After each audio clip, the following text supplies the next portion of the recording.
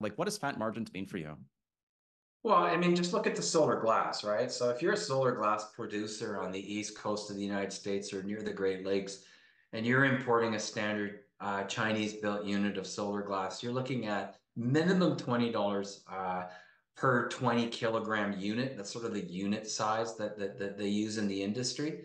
And, and, and that $20 rises based on the logistics. So if you're right at a port and have perfect logistics, then you're paying 20. If you're not, and you're somewhat inland and you got to put that, uh, take that off, that container off a boat and put it on a truck or a rail and ship that to your plant, well, you can add another chunk of dough on top of that. So let's just sort of average that out and say that's $30, right?